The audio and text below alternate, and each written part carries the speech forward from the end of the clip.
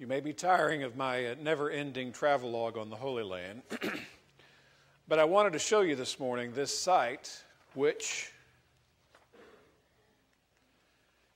uh, traditionally commemorates uh, the setting of the story we're going to hear from the Gospel, John chapter 21. This is called the Church of the Primacy of Peter, and it sits on the edge of the Sea of Galilee up at the northern edge, and it's built around a rock.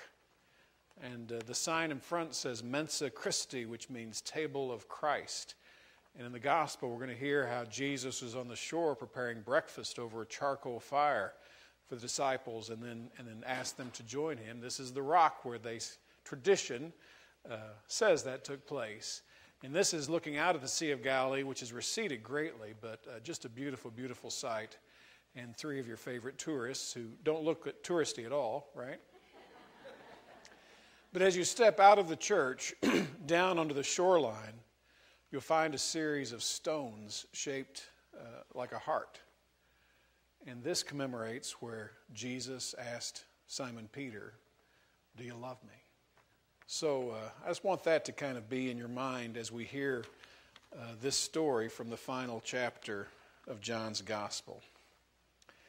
After these things, after Jesus had appeared twice to his disciples, uh, he showed himself again by the Sea of Tiberias, which is the Sea of Galilee. And he showed himself in this way. Gathered there together were Simon Peter, Thomas called the twin, Nathanael of Cana in Galilee, the sons of Zebedee, and two others of his disciples. Simon Peter said to them, I am going fishing. They said to him, We will go with you. and they went out and got into the boat but that night they caught nothing. Just after daybreak, Jesus stood on the beach. But the disciples did not know that it was Jesus. Jesus said to them, Children, have you no fish? And they answered him, No. He said to them, Cast the net to the right side of the boat, and you'll find some. So they cast it, and now they were not able to haul it in because there were so many fish. That disciple whom Jesus loved said to Peter, it is the Lord. When Simon Peter heard that it was the Lord, he put on some clothes, for he was naked, and jumped into the sea. But the other disciples came in the boat, dragging the net full of fish, for they were not far from the land, only about a hundred yards off.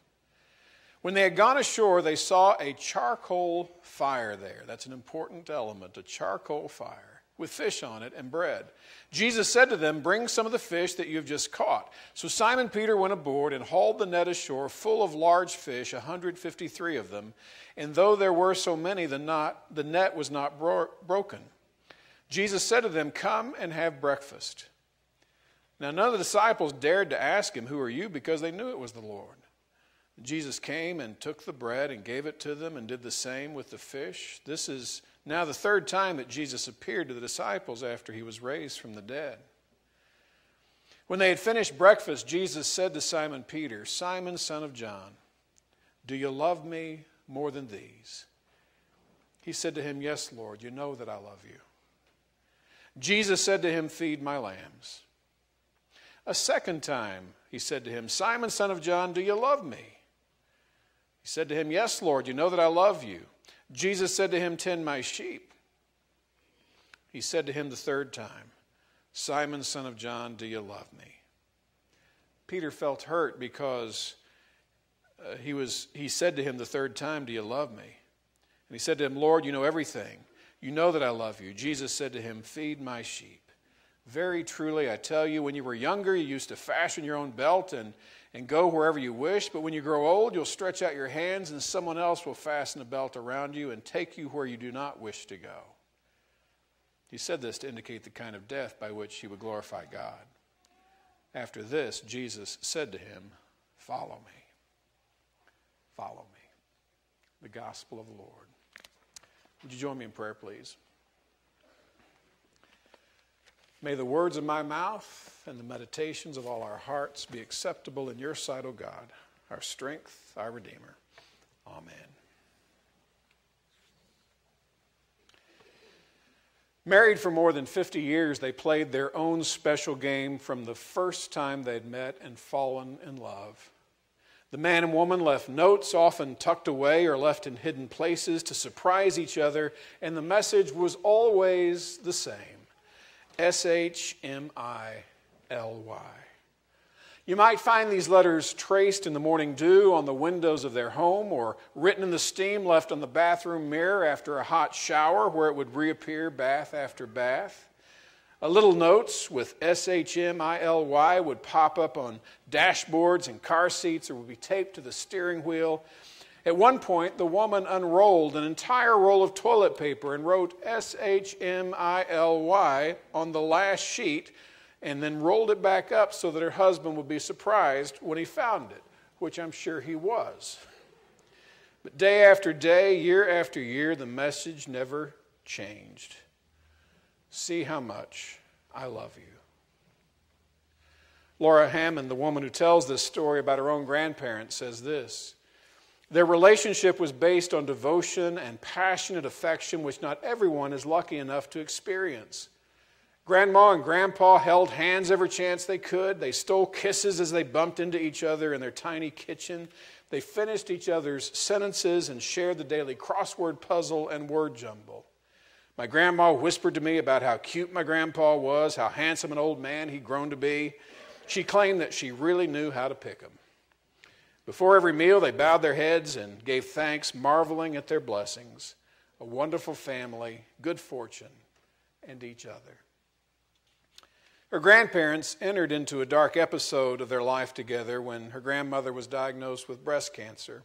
For more than 10 years, she battled the disease, and her grandfather was with her every step of the way. He painted their bedroom yellow so his wife could always be surrounded by sunshine, even when she was too sick to go outside. And he remained by her side to the very end. His final tribute to his wife was at her funeral, where on pink ribbons and a large floral arrangement, he had scrawled in yellow the letters S H M I L Y. Isn't that a wonderful story? You know, we've journeyed through Lent and Holy Week, during which we remembered Christ's passion and suffering, culminating in his death by crucifixion on Good Friday, and, and now we find ourselves in the Easter season as we remember and celebrate the very good news of his resurrection from the dead. My brothers and sisters, if this Easter season means anything at all, if this cycle of death and resurrection really communicates anything important for you and me, it's simply this. Through his life, through his death, through his resurrection, Jesus says, See how much I love you. Just look at how much I love you. Not even a cross can stop God's love from reaching down to us and embracing us. Not even rejection or ridicule will hinder God from reaching out to us in love. Not even the coldness of a tomb could contain or constrict God's powerful love from bursting forth for you and for me. To you, to me, to everyone today, Jesus, the risen Christ, says, See, how much I love you today and forevermore.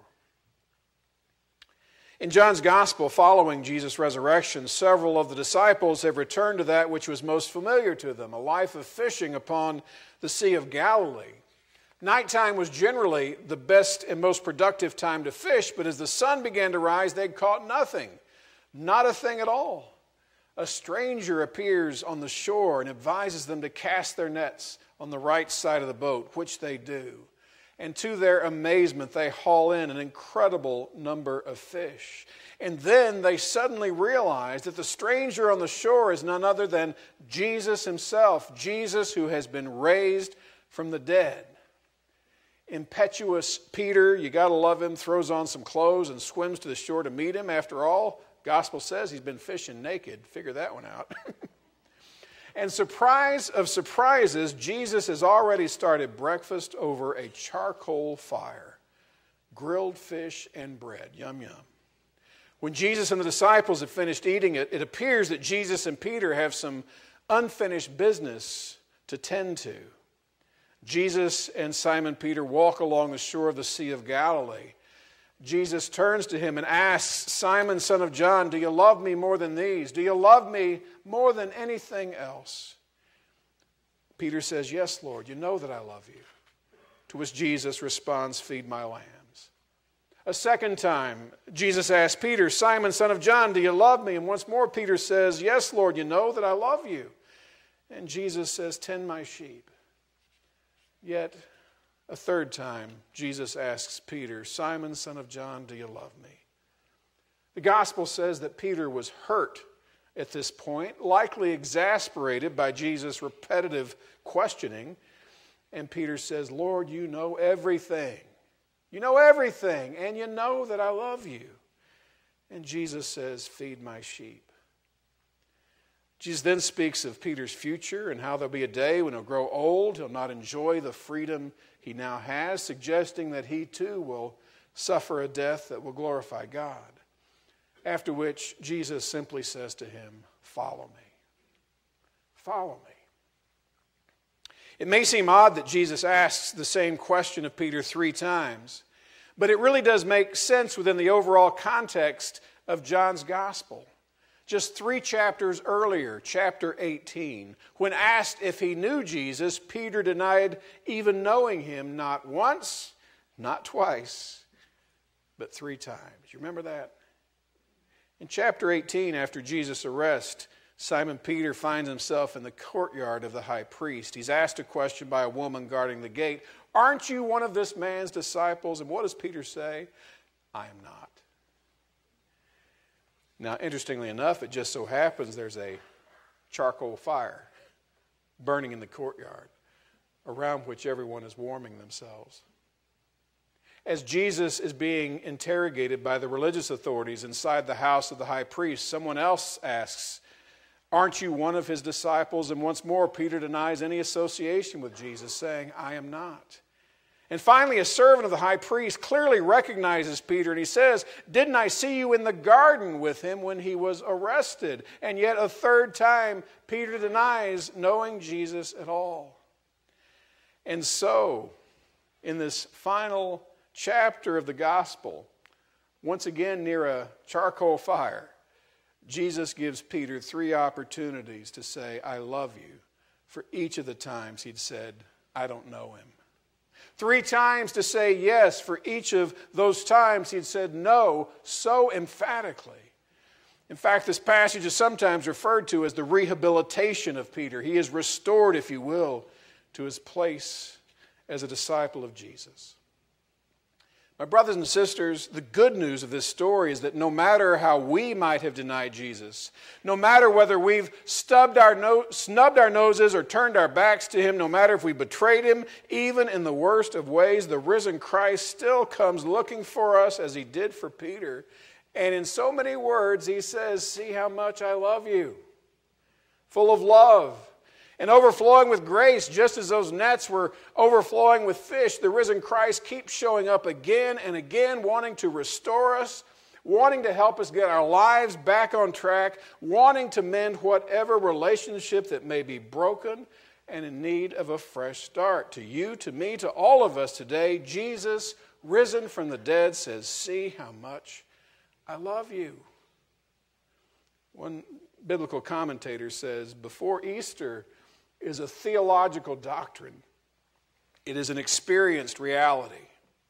It is an experienced reality. You see, if it is anything, Easter is first a personal encounter with the risen Christ who continues to reach out to us in love and in grace.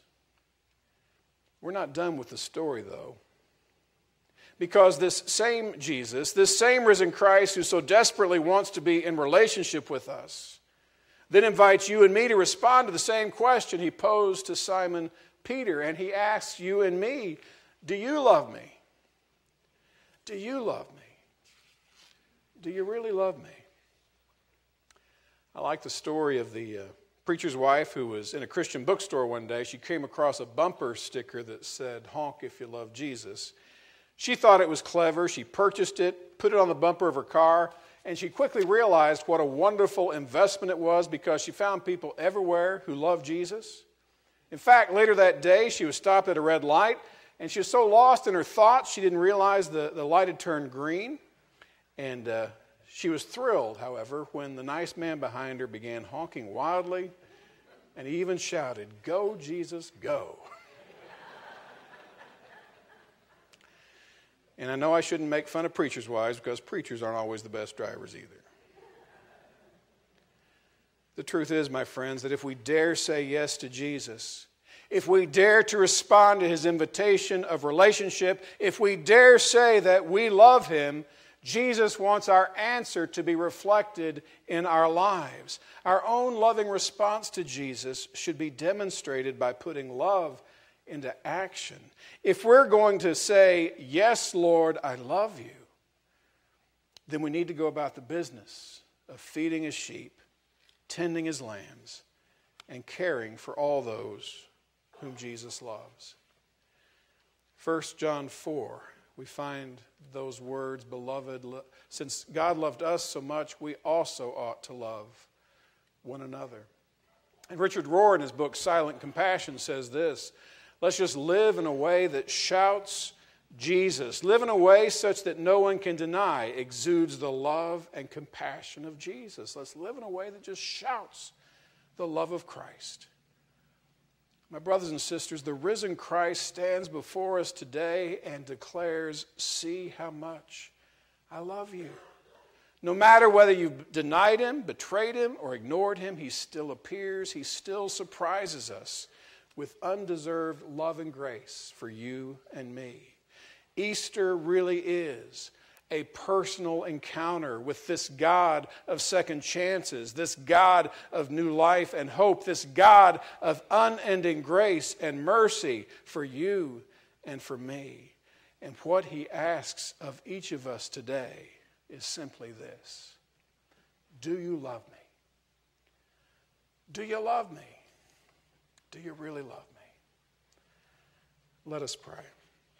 Gracious God, we thank you once more for the message of this Easter season that you never give up on us, that you offer second chances and fresh starts, even when we've denied you or betrayed you. We thank you, God, that your love cannot be stopped even by a cruel cross, and that Jesus lives today.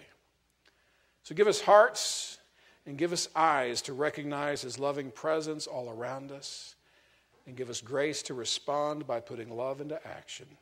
In his wonderful name we pray.